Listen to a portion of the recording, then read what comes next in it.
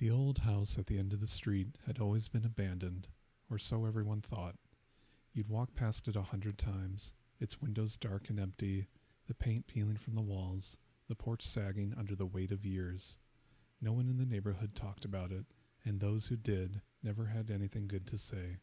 It was just there, a fixture of decay, as though it had been forgotten by the world.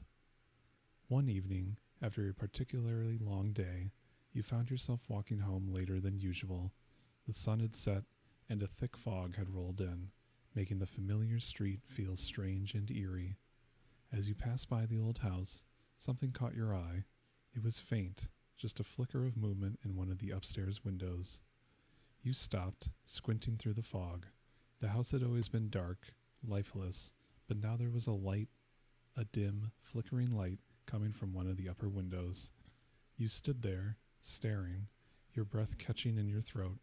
For a moment, you thought it must be your imagination, but then you saw it again a shadow moving behind the window. Your heart skipped a beat. No one lived there. No one had lived there for years. You could feel the hairs on the back of your neck stand on end as the shadow moved again, slowly, deliberately, as if it knew you were watching. You tried to convince yourself it was just a trick of the light, maybe the reflection of a passing car, but the street was empty. There was no one around, no sound except the soft rustling of the wind through the trees. And then the shadow stopped. It stood there, perfectly still, right in front of the window. You could feel its eyes on you, even though you couldn't see a face, just the dark silhouette of something or someone watching you.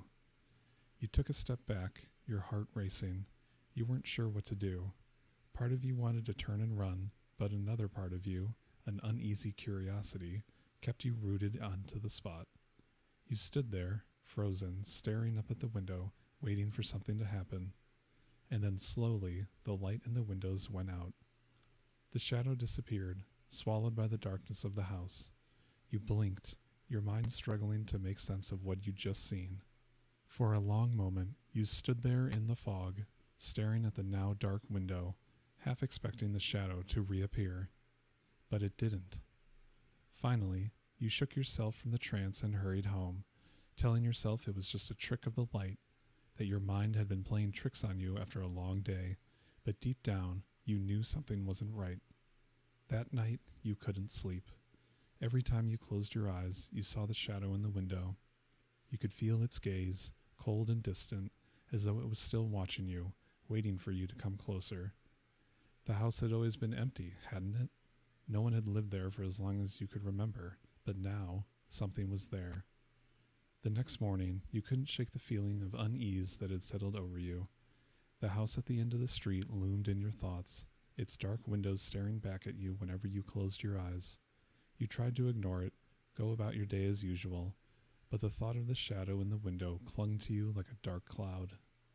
That evening, as you walked home again, you found yourself glancing toward the house. The fog had returned, thick and heavy, and the street lights barely cut through the gloom.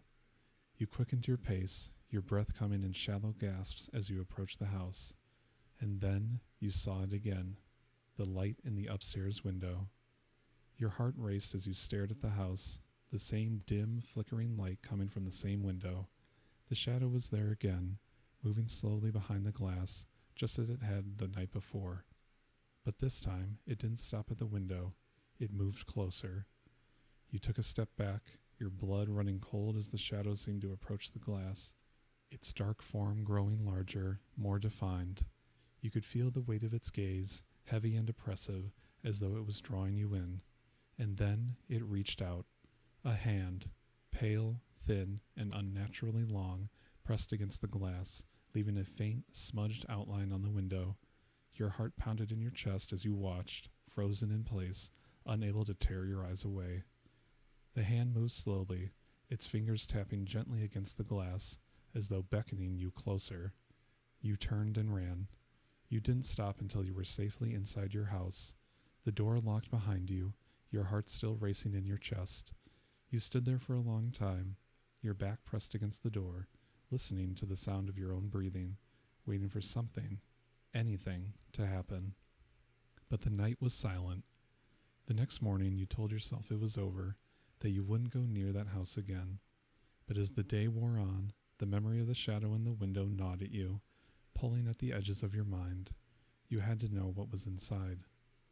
That evening, just as the sun was setting, you found yourself standing in front of the old house. The fog was thicker than ever, and the street was eerily quiet.